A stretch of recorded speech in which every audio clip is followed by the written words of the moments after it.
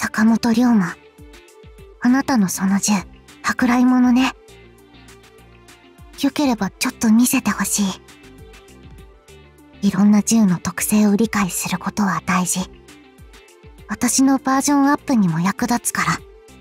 最下は誰の味方もするし、誰の敵にもなる。だけど、今はあなたと契約しているから、あなただけの味方。契約更新もやぶさかではないから、その時は遠慮なく言ってほしい。